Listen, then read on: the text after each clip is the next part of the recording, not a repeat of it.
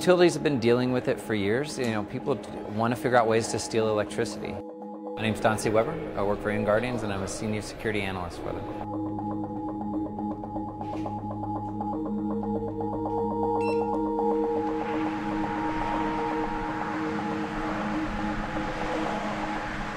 Basically, in, in, order to interact with a meter, um, we have to have the security code. So we have to have methods to do that. Once we have that security code, we can do pretty much anything that the utilities can do. So we can read the information off of it, um, what we call write to tables, which is uh, write information to it, which would change the configuration.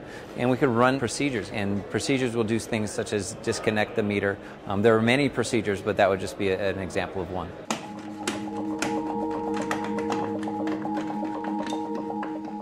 It's really hard to predict what they're going to be looking for.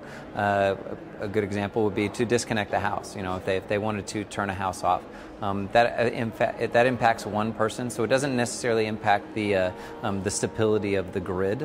Uh, obviously, you know, no family wants to be turned off when they're expect not expecting to be turned off.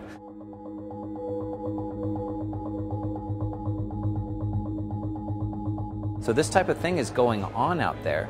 Um, so criminals aren't going to advertise that they're doing this until they're starting to sell their services, and until and we're not going to hear about it until utilities are uh, open about telling us that they're starting to see these types of things out there.